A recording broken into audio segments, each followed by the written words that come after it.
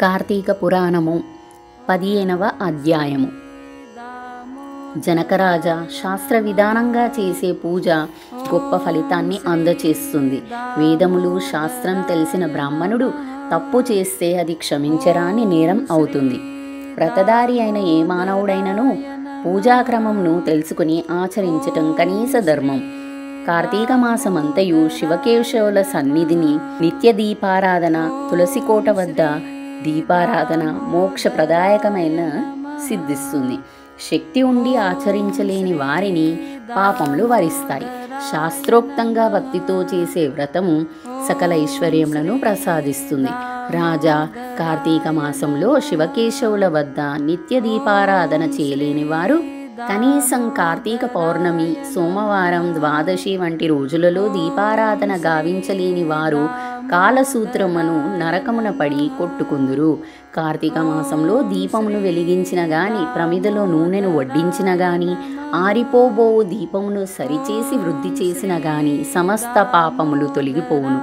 ఇట్టి చిన్న కార్యక్రమమును నిర్వహించి నరరూపమును పొందిన ఒక ఎలుక వృత్తాంతమును తెలిపెదను వినుము. అని వశిష్ఠుల వారు చెప్పసాగినారు. పూర్వము సరస్వతీ నదీ తీరంలో ఒక శిథిలమైన దేవాలయము కలదు.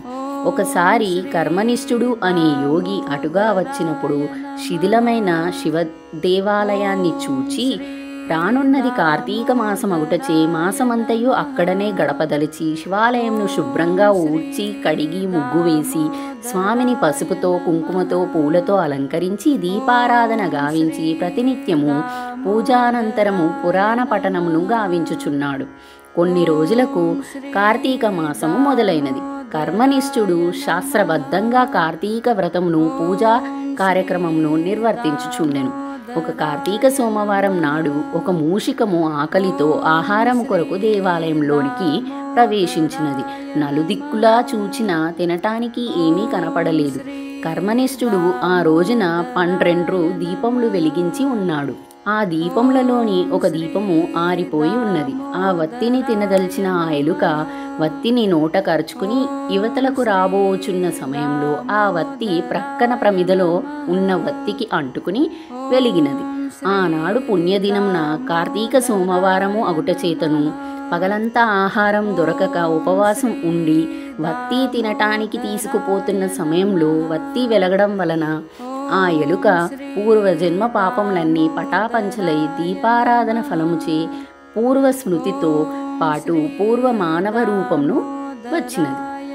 భగవద్ధ్యానంలో నిమగ్నమైన కర్మనిష్ఠుడు అలికిడికి కనులు తెరిచి చూడగా అపరిచితుడైన మానవుడు కనిపించడంతో మానవ నీవెవ్వరవు? ఇక్కడికి ఎలా వచ్చావు? అని అడిగాడు. అంతటా అతడు స్వామి నేనొక మూషికమును. ఆహారము కొరకు దేవాలయంలో ప్రవేశించి వత్తిని తినదలచి నాను. అయితే ఆ ఒత్తి పొరపాటున ప్రక్కన వెలుగుతున్న ఒత్తికి తగిలి వెలిగినది. వెంటనే నాకు మూషిక రూపము పోయి మానవ రూపము కలిగినది. నేను అసలు మూషిక రూపంలో ఏ కారణం చేత ఉన్నానో నాకు తెలియదు. నా మీద దయతో నా పూర్వజన్మ వృత్తాంతము తెలుపగలరు అని వేడుకున్నాడు. కర్మనిష్ఠుడు దివ్య దృష్టితో సమస్తము తెలుసుకొని నాయన నీవు క్రిందటి జన్మలో బాహికుడనే జైన మతస్థుడివి సంపాదన కొరకు మతాచారాలను వదిలి వ్యవసాయము చేస్తూ దురాశతో చెడు ఆలోచనలు చేస్తూ నీచ వ్యవహారములు చేసినావు. ఇంకను నీచులతో స్నేహం చేసి మద్యానికి మానిసవై కుటుంబాన్ని అలక్ష్యం చేసినావు. చెడుగా సంపాదించిన ధనంను ఆశతో గుప్తంగా దాచినావే కానీ సద్వినియోగపరచలేదు. ఆ తరువాత కొంతకాలానికి నీవు మరణించి మూషిక రూపమును ఎత్తావు. నేడు కార్తీక సోమవారము. ఇట్టి పుణ్యదినమున నీవు ఆహారము దొరకక ఉపవాసం ఉండి రాత్రి సమయంలో అప్రయత్నపూర్వకంగా దీపారాధన గావించటం జరిగినది. ఆ పుణ్యఫలంన నీకు పూర్వజన్మ ప్రాప్తించినది. కావున నీవు నీ స్వస్థలానికి వెళ్ళి నీవు దాచిన ధనమును తీసి ఆ ధనముతో సత్కార్యంలో నిర్వర్తించిన భగవదారాధన గావించిన నీకు మోక్షం సిద్ధిస్తుంది. అని చెప్పి అతడిని సాగ నంపినాడు.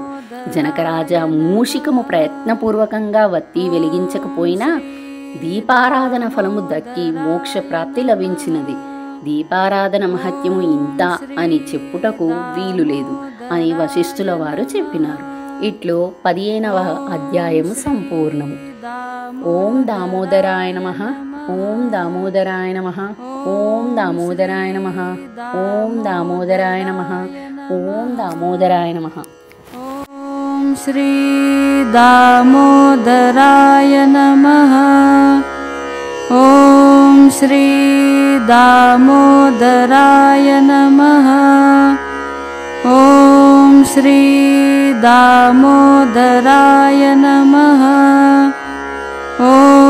श्रीदामोदराय नमः।